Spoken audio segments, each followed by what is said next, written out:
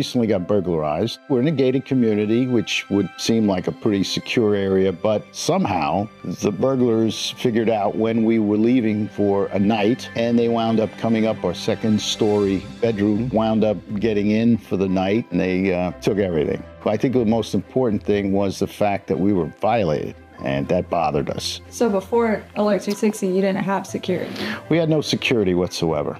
We had asked the police officer what he thought was the best group to go with for some sort of security system. And he had asked around to some of his detectives, and they all came up with Alert 360.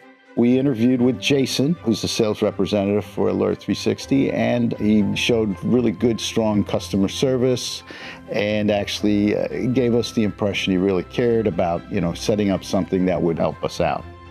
At this point, you know, we have a security system that I think that will prevent any future issues where we'll be notified if something happens like this. So now everybody on this street has become aware of what could happen. A lot of them have just ring cameras, which can be hacked, I understand. I'm making my points of bringing it to their attention about Alert 360, and hopefully they'll also implement the system.